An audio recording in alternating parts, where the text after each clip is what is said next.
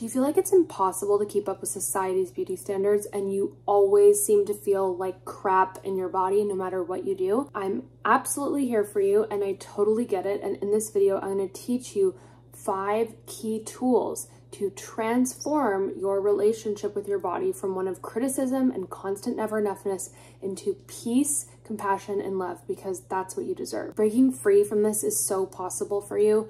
This is exactly what I help women worldwide to do. Just like my beautiful client Tally, who shares, I was unrecognizable. I didn't pursue my passions because I was really struggling with my body image, my self confidence, and I felt like I had no purpose in the world.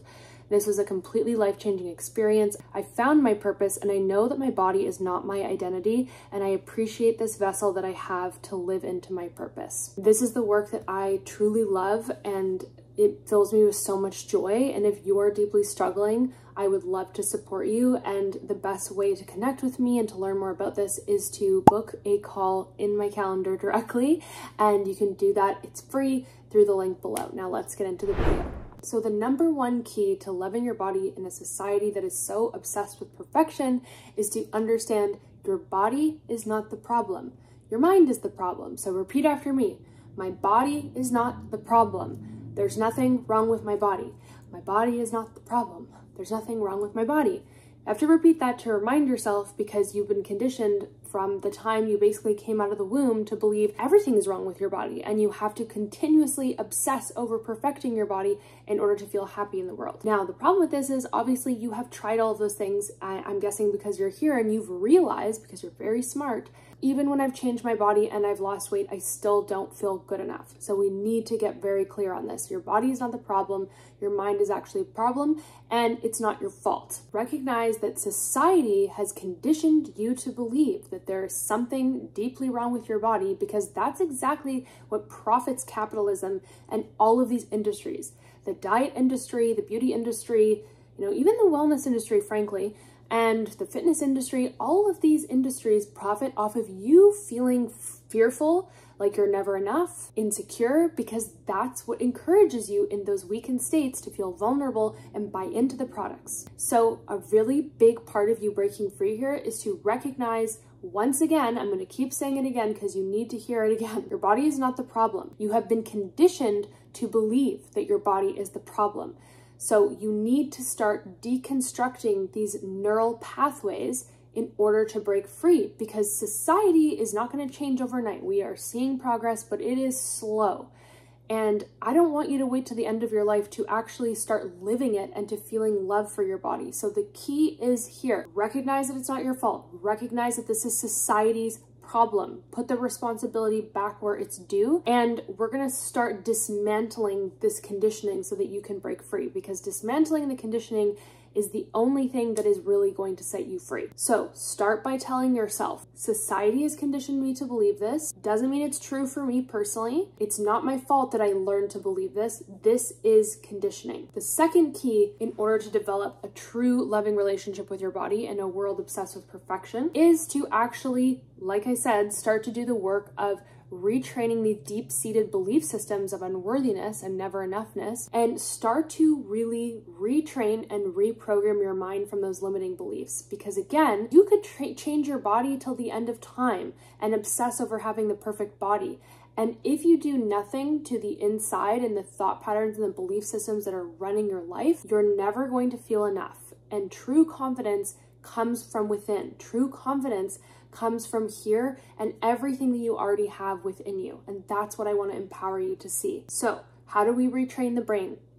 Well, because these pathways have been very well grooved, I want you to kind of remind yourself that we all have this default operating system of criticism and negativity because that is the conditioning. And we've had these messages day in and day out bombarded you know, to to us through every avenue possible. And so of course, our brain being the little intelligent structure that it is, understands that the more we see something, the more we think something, the more energy we spend on it, the more it cements it into our subconscious and belief systems. So the only way that we can actually gain our power back from this is to weaken those neural pathways. And because the brain is so beautifully advanced, the less you think something, the less intensity something has, the less thought you give it, the more it breaks down those neural pathways, which eventually just completely dissolve and they get pruned off. Much like if a branch on a tree died off, eventually the tree will stop sending energy there because the tree, that part of the tree is dead and it's not living anymore. So that's what gardeners do too. I've gone on a tangent, but you get it, right? So we want to prune off those thought patterns so that we can actually gain our power back. How you start doing that, I will show you a very clear technique. These thoughts are going to continue firing every single day. So I want you to first of all recognize that and observe that. Two very important things that you can do to start weakening these neural pathways and getting your power back is to recognize and say aloud, a part of me was conditioned to believe this negativity. So let's say I have a thought that says, I hate my body. I wish my legs were slimmer. That is all conditioning. That's not true Giulia speaking. That's conditioning that I learned. So when I hear that thought fire in my brain, I'm actually going to out loud after that thought happens say, there's that conditioning again. There's that part of me that learned that negativity. So you want to actually teach your brain that's conditioning, that's conditioning, that's conditioning because you start to remove your identity from that conditioning and you start to dismantle these belief systems and gain more space from them. So that's number one. It doesn't matter if the negative thought happens and, you know, right away you can't do that exercise. Sometimes it takes time, but even if retroactively you can remind yourself, oh my goodness, I can recognize this morning when I was looking in the mirror and I was having all those negative thoughts, that was the conditioning talking. Number three, you want to support your nervous system in regulating itself and lowering stress. Why? Because when we are activated in certain branches of our nervous system, the sympathetic and the dorsal vagal branch of our nervous system, and we are stressed, what happens is that goes hand in hand with increasing negative based thoughts because those are also very stressful. So they kind of go hand in hand together. So this is interesting. You probably notice that if you're having a stressful day with work or your finances or something completely unrelated is happening in your life, it's no surprise that all of a sudden all those little negative body image thoughts start popping up everywhere because it's all based in the same energy. It's all rooted in the same energy. What we want to do are some simple practices to bring more peace and harmony and ease into our nervous system so that we actually start turning off, we actually do turn off specific uh, structures in the brain, which allow us to come back into this energy of peace and confidence. In order to actually feel things like confidence, compassion, and things on the higher end of the vibrational chart, feeling safe, grounded, all of those things, acceptance, you actually have to be in the ventral vagal branch of your nervous system. So we cannot feel those things about ourselves and our body if we are stuck in a stressful state. Therefore, we want to do things that encourage us to go into the ventral vagal branch of our nervous system. Some really easy tools that I love so much. This one's called havening. So you just cross your hands at your shoulders, you slide your hands down to your elbows, lift up and repeat. And doing this for one to five minutes can really help to bring safety and ease to your nervous system. I teach a lot of EFT tapping on my page because it is an absolutely amazing tool for both retraining and reprogramming the mind and also regulating the nervous system. So you can tap through the points continuously, just like I'm demonstrating here. And I like to set a timer for five minutes and just use this tool by tapping continuously through the points. I show more evolved versions of this tool and all the wonders that we can do with it to bring more confidence to our body and relationship with our body on my page, so you can check more of that out there. Those are two very simple tools you can use. And the third one, which I love so much, and it's so easy and accessible, uh, is walking. So if you're able to walk, walking is a fantastic way to shut off the stress response and actually support us to come into more regulation with our body image. Because of the way that our body moves when we walk, bilateral stimulation, and the fact that our eyes actually move from being in a very unilateral state. So, so our eyes are like stuck like this when we're stressed. When we're walking, we actually have to take in our environment because we're moving, we're crossing the street. And that action in itself of taking in your periphery actually shuts off and shrinks the amygdala, which is the part of the brain that is responsible for turning on our stress response and feeding attention to the negative thoughts. So the next time you feel negatively about your body and you want to increase some love, head outside, go for a walk, and bonus in nature if you can make it happen because it's even more effective. So I hope those tools help you. Number four, bring attention to the joys in your life. Your brain, like everybody else's, is trained to have a negativity bias. That's part of our evolution as a human species is always focusing on the problems, always focusing on the negatives. And this happens all the time by default from the time we wake up. So if you want to feel more joy in your life, you want to cultivate more love for yourself and your body, you actually have to focus on it because it doesn't happen naturally. So really important to actually practice. And I know it sounds cliche and you've heard it before, but gratitude is one of the simplest and most effective, powerful ways that we can actually cultivate more joy and love in our lives and with our body. If your brain is just running on its default network like it does, it will take you down the rest of the day with all the negativity. So set a practice for yourself Maybe you want to create a five ten minute practice in the morning where you journal your gratitude. Maybe you want to make it a, a, game that you do with your friends where when you call each other, you actually ask first, like, hey, what are you grateful for? What, what wonderful things happened to you this week? You want to actually make this an anchored practice so that your brain starts to focus on the joy, not the weeds. Some questions that you can ask yourself other than what am I grateful for today are what joys do I have in my life? How is life loving me today? What went well today. And if you're thinking of a future situation, you can even ask yourself, what if the best thing happened? Because often we think of a situation and we go, well, what if the worst thing happens, right? That's just naturally what we think about. You're probably laughing because you're like, yeah, that happens for me too. But what if the best situation happened? Think about that. So you want to start actively retraining the brain. And the beautiful thing is the more you focus on the joys, the more you focus on the good, the more it compounds and the higher your vibration is and the more you manifest the life that you want. It's actually science, quantum science to be exact. Number five, finally, stop dieting.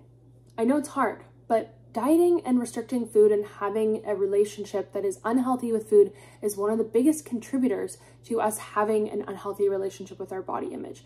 We make our love and respect for our body conditional and we make it very difficult for us to have peace with our body image. It, it just goes hand in hand. By now, you probably know dieting is not sustainable, it doesn't work, it breeds insecurity and anxiety and food obsession, and you basically guarantee that you're operating in that stress state of your nervous system every day, all day long.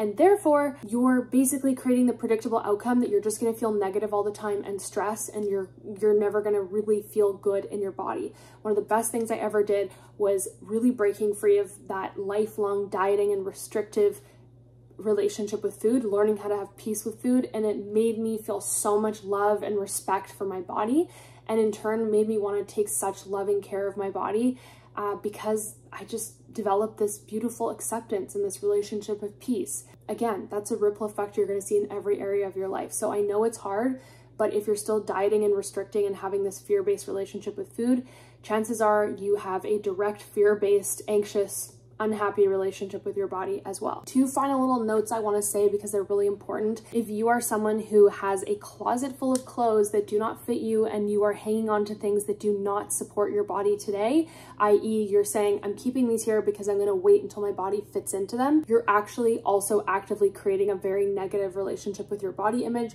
wherein you are making your worth and happiness conditional on your body size. You want to actually have clothes in your closet that fit you today because that teaches teaches you I can celebrate the body that I have today and I am worth celebrating. I am worth decorating. I am worth feeling good and comfortable. Nobody wants to wear clothes that are too small and feel really uncomfortable. It also sends messages to our nervous system that we are stressed, we are not safe, which further exacerbates negative thoughts about your body. So please do yourself a favor. Get rid of the clothes that do not fit you today if you're hanging on to things from the past, it means you are really hanging on to a past version of yourself and that does not serve you in any way and it is definitely keeping you stuck and stagnated. Get rid of those clothes, give them away. That will help you feel good. Give them to someone in need.